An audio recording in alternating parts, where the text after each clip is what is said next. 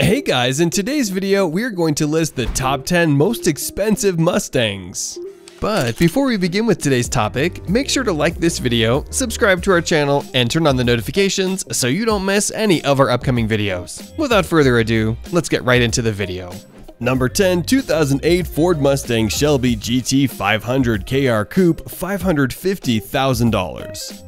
The first production example of the King of the Road coupe was offered by Ford for charity auction to benefit the Juvenile Diabetes Research Foundation. A new hood and what's beneath it are two significant changes.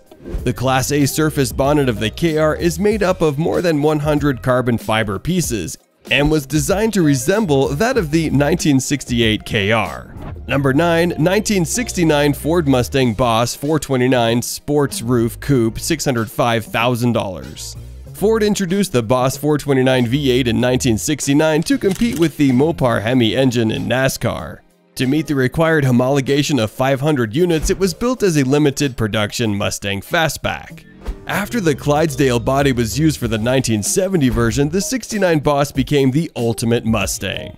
Number 8, 2007 Shelby GT Fastback, $660,000. The first model of a valuable car according to car enthusiasts and collectors is a treasure. People are willing to pay exorbitant prices just to obtain a 001 serial number. The same thing happened with the 2007 Shelby GT Fastback. The $660,000 sale price of this Mustang in 2007 benefited the Carroll Shelby Children's Foundation. Number 7 1965 Shelby GT350R $742,500. This 1965 Shelby GT350R has also earned its share of victories and awards. This Mustang was the third GT350R to be raced, and the driver was a Mexican legend, Pedro Rodriguez. Bill Steele was initially asked to drive, but he declined because the car intimidated him. Rodriguez went on to win the Southern Polar Prix in 1966. Following this victory, the car was purchased by Freddie Van Beuren, a Mexican driver who customized it by painting it in Mexican racing livery. In 1966, Freddie Van Beuren won the SCCA Southwest Division title. Number 6, 1969 Shelby GT 500 convertible, $742,500. The majority of Shelby Mustangs on this list have won the hearts of many through their track prowess. But this one is different. The 1969 Shelby GT 500 convertible was not a race winner. But it did have a far more important title. It was Carroll Shelby's personal vehicle. This model is a rare find as only 247 units of this Mustang were produced. But it's worth more because it was owned by the man himself. Number 5, 1967 Shelby Mustang GT500 Eleanor, $1 million.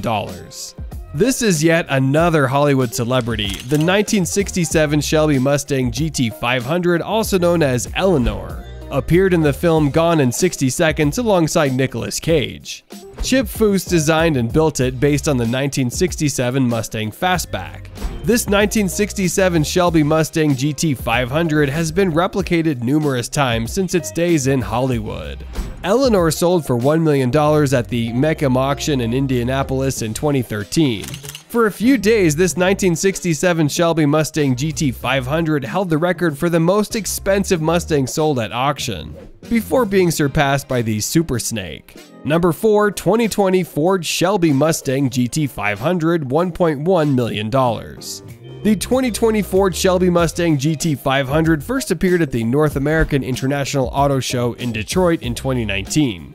This new generation Mustang was the first to have a VIN that ended in 001.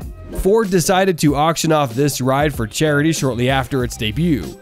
The 2020 Ford Shelby Mustang GT500 was auctioned off at the Barrett Jackson Scottsdale annual auction. Craig Jackson, the chairman and CEO of Barrett Jackson, bid $1.1 million on this Mustang. Number 3, 1967 Shelby GT500 Super Snake, $1.3 million. In the 1960s, the 1967 Shelby GT500, also known as the Super Snake, was the American car to beat. This powerful Mustang is the latest in a long line of Mustangs with a touch of Shelby magic. The Shelby Super Snake Mustang was a one-of-a-kind vehicle.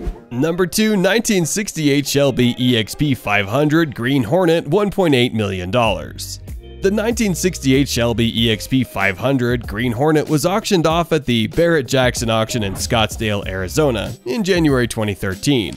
This experimental prototype's bidding reached $1.8 million before stalling, falling short of the reserve price, and failing to sell. This car is unique among Mustangs of the time.